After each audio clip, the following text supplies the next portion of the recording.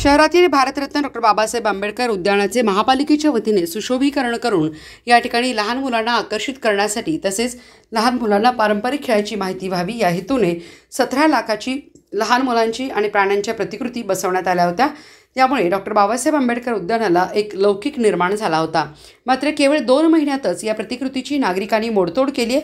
यातील अनेक प्रतिकृतीचे हात आणि शिंगे मोडले आहेत. शहरातील एकमेव चांगल्या दर्जाचे असलेल्या उद्यानाची नागरिकांनी मोडतोड केल्यामुळे महापालिका प्रशासनाने याकडे दुर्लक्ष केले असल्याचा आरोप करत आर पी आय शहर जिल्हाध्यक्ष पोपट कांबळे यांनी आंदोलनाचा इशारा दिला. माझं नाव Popat Rama Kamble.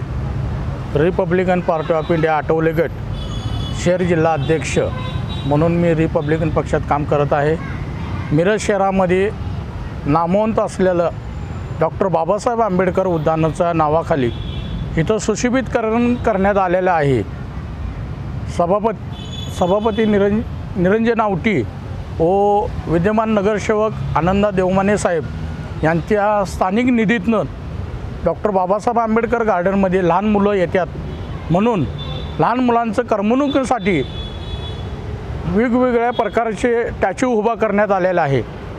त्या टॅच्यूचा निगा हे महापालिका प्रशासनानं केलं पाहिजे आणि येणाऱ्या जाणाऱ्या नागरिकांनी बी या आपलं डॉक्टर बाबासाहेब आंबेडकर नावाचं उद्यान आहे आणि आपण त्या उद्यानाचा कसा चांगला प्रकारे वापर केला पाहिजे ही नागरिकांना बी कळलं पाहिजे.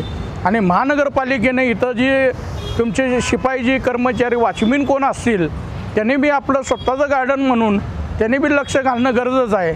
आणि जर असं होत नसेल जाणून बुजून जर प्रशासकीय किंवा महापालिका याच्याकडे दुर्लक्ष करत असेल तर येणाऱ्या काळामध्ये रिपब्लिकन पार्टी ऑफ इंडियाच्या वतीनं महापालिकेच्या समोर तीव्र स्वरूपाचं आंदोलन करण्यात येईल हे जे महापालिकेच्या अधिकाऱ्यांनी काळजी घ्यावी.